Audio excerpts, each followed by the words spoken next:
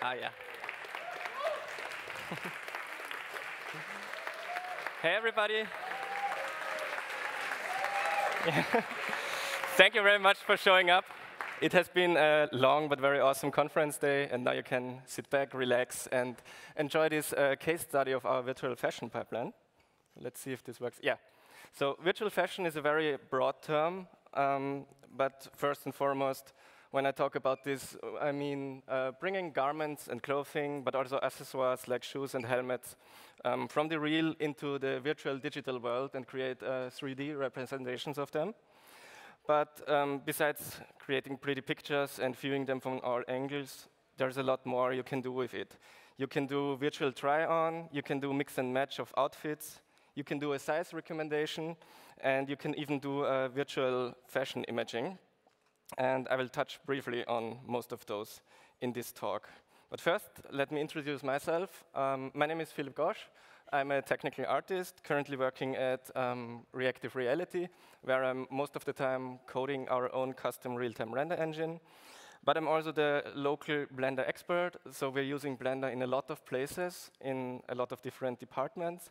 And whenever there is um, some questions, issues, or we need a feasibility study. Can we use Blender for that? People approach me, and I really appreciate that.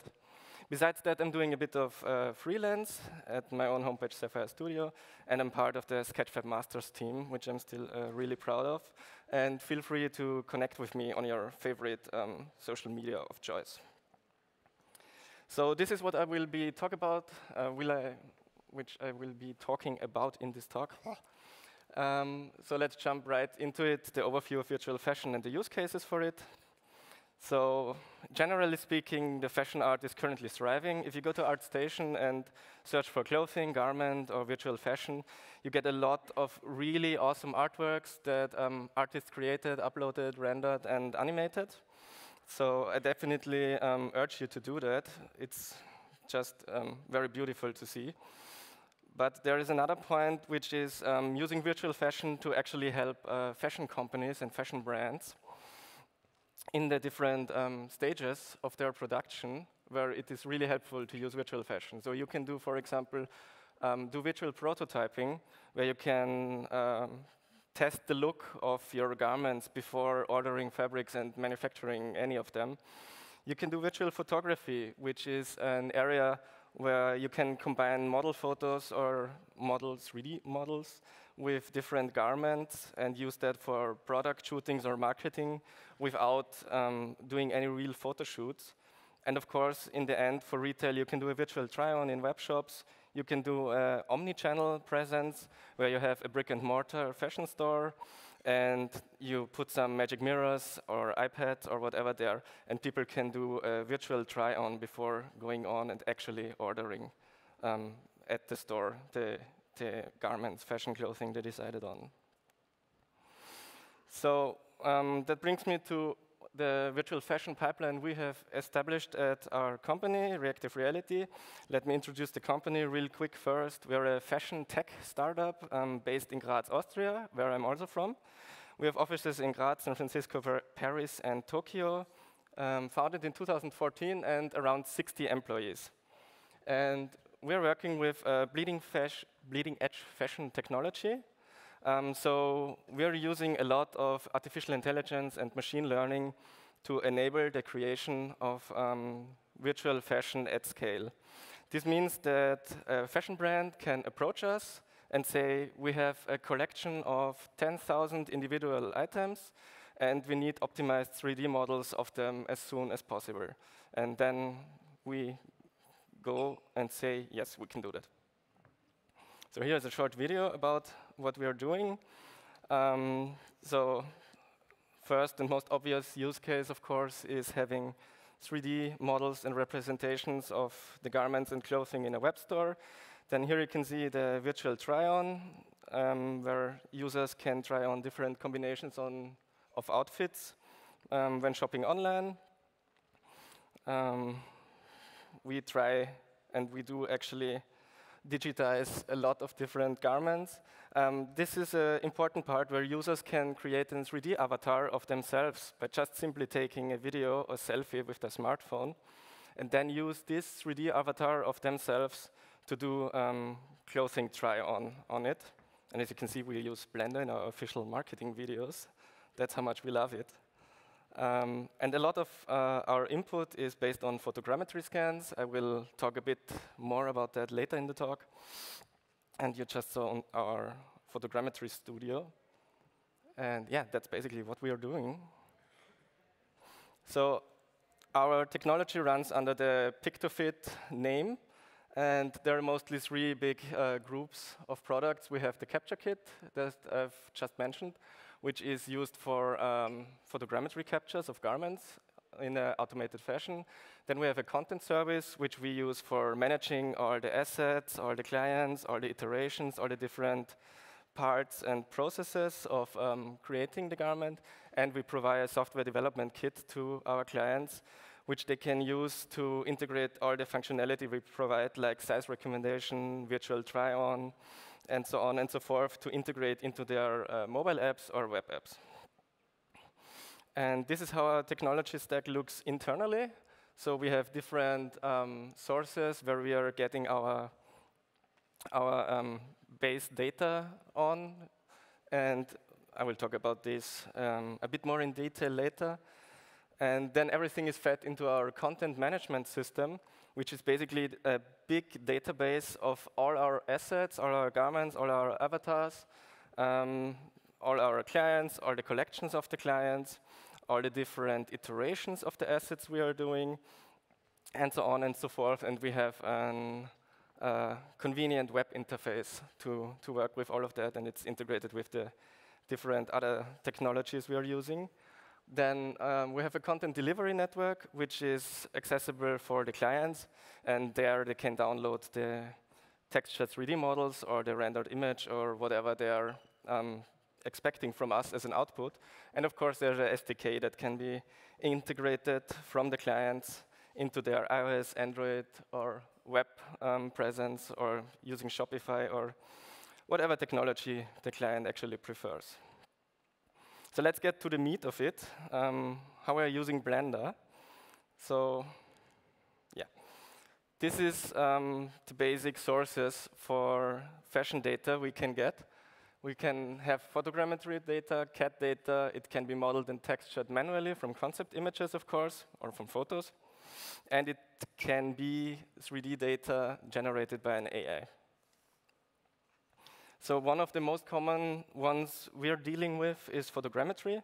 So we develop a capture kit, and the setup you can see here, it's uh, three cameras. It's four actually nowadays. Um, and light sources, and there is a turntable which is connected to, to, the, um, to the other part, and which is automatically turning the mannequin with the garment, taking photos, and the photos are automatically up, uploaded into our content management system where there are some um, pre-processing and photogrammetry is done. As software for photogrammetry, we are using Zephyr 3D, but we do a lot of custom um, post and pre-processing to all the, all the images and the 3D data we get out of that. Then the other big way um, how fashion data usually in the fashion business is created is by using specialized um, tailoring software like CLO3D, Marvelous Designer, Browzwear, and some others. This is um, actually software aimed at um, dressmakers, tailors, which are actually um, creating the fabric patterns.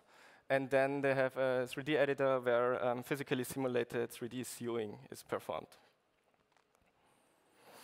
And if you want to try that way of creating fashion, fashion, yeah, I can um, recommend these two great add-ons. I'm in no way affiliated with them, but I thought um, I should mention it for those who want to try creating virtual garments themselves. They're really great. So um, we also have a team of skilled 3D artists who are very versed in creating virtual fashion. And um, they mostly do a, a, final check of all the 3D meshes and textures we get out of our automated tasks. They're um, starting and initializing processing or new iterations, but there are also um, just skilled 3D modelers and texturers who are fixing sometimes common and sometimes completely one-off errors in the data we get and process. And there are errors. While the automatic ways work really well nowadays, it still happens that something goes wrong, and um, our 3D artists have to deal with it. So depending on um, what input method and what processing we use, we have other set of issues we look out for, especially. And I will show you some of those issues. A bit of warning, I call this the gallery of horrors for 3D artists, because now you're seeing mostly mesh and texture issues and errors. So this is one um, most people who have used photogrammetry probably know. Um, lighting information is in the texture, everything looks nice, and once you go into shaded view, or you do a relighting, which is the actual um, problem, then you see that the mesh is completely off and needs to be fixed.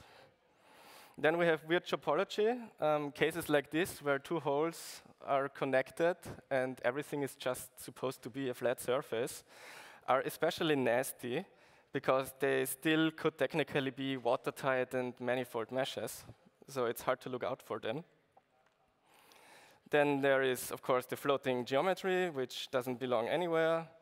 We usually don't do that anymore, but we had to do a lot of detail removal, so I hope you can see that, where the, the buttons here and this part have been removed from the mesh because everything um, every bit of information that we need was in the texture already.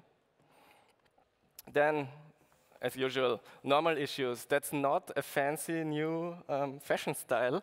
That should be a plain gray T-shirt, which actually has normal issues. And then this is a UV layout you could get out of photogrammetry software. yeah, it happens. And I guess everybody can see there's a lot of potential um, to use the the rest of the UV space available. Then you have um, mesh connections where you don't want them. They might be fine on static models, but once you are um, fitting the garment onto a post avatar, then um, the problems quickly become visible. And of course, there's missing texture parts. Um, this happens especially often if there are folds in the garments and the photogrammetry software doesn't um, have enough information from the input images to create all parts of the texture. Then another thing when you're doing photogrammetry is you have take care of insides. If you're scanning items with two parts, like shoes, where you have the upside and the downside, which need to be scanned separately, then of course they need to be merged. And yeah, a lot of this stuff we noticed was uh, reoccurring. So the same issues popped up uh, time and time again. So we thought of ways to automatically check and fix for them, which brings me to my next point. Um, the tasks we automated. Quickly checking the time. Oh, nice. So most commonly, to fix the issues, what could be done was, no, yeah. We fixed the topology, which is um, best done by simply remeshing the mesh. So it can be done automatically. If you're remeshing, you have a new mesh anyway, which needs a new, v new UV layout. So might as well make, this make that as clean as possible. And after that's done, we can rebake the textures. And we noticed if we do, do those three steps automatically, we can fix most of the issues I've just shown you before. So we came up with a way to do that automatically. And of course, we created a custom Blender add-on, so repetitive and tedious tasks can be taken off the shoulders of our 3D artists. We use a very powerful um, internal software where we do uh, a lot of um, processing, a lot of preparing for fi fitting, um, working with parametric body model representations and stuff like that. And um, we realized it's really beneficial for our artists to have a seamless um, integration and transfer between Blender and our custom software. So whenever you are editing something in our custom software, you have an option to just transfer the asset seamlessly to, to Blender, do some mesh texture or whatever editing there, and then our add-on provides a way to seamlessly um, transfer back to our software and load the appropriate data We're using some custom file formats for that because we have lots of additional data information for the garments and clothing we're using. But we also provide uh, GLTF and OBJ import and export. And yeah, we created an analysis and a cleanup um, tool, more or less, which our artists can use. We realized that most of the mesh is issues can be found by um, the, the add-on that already exists and is um, designed for uh, 3D printing meshes. So thanks to the power of open source, we could reuse a lot of those checks. Then um, we have a big part where we provide very custom functionality that actually comes from our C++ SDK, where we can do garment try-on, physics, um, Siemens subgroup handling when we are dealing with CAD data.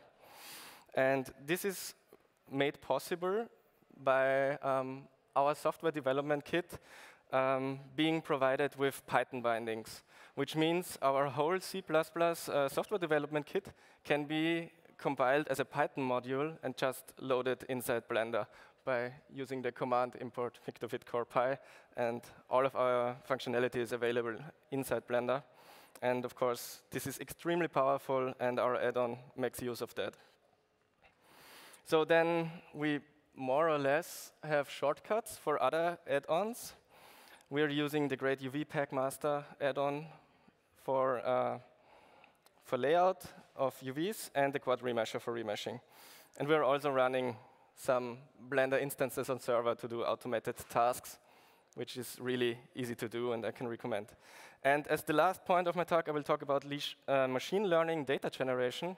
As I've said, we're using a lot of machine learning to do very specific tasks and um, to aid the artists so that they don't have to do tedious tasks again and again and again. And um, that also enables the scalability we can provide for processing thousands of um, assets in a short amount of time. So now there is an issue with machine learning because um, we want a machine learning model to do some task on a large amount of data. So a machine learning model needs to be trained, and to train the machine learning model, you need a large amount of data that's already labeled. So that's a typical dilemma the, with machine learning. So what can we do in that situation? Of course, we can use Blender and generate synthetic training data for us to train the machine learning model to then use on our real data. So I will show one example real quick. We have uh, image classification for photogrammetry input, which we wanted to uh, automate. So taking one input image from the cameras of our capture kit, we want to know which pixels belong to the garment, which pixels here shown in red belong to the mannequin, and which ones belong to the turntable. So we can do automatic mask creation and some more. So what we did was we created a virtual version of our photo studio and um, rendered image that as closely as possible resemble the input images we get from the cameras. But um, when we additionally um, enabled the object index pass, this already delivers us with all of the um, masks and basically the labeling we need to train the machine learning algorithm with that.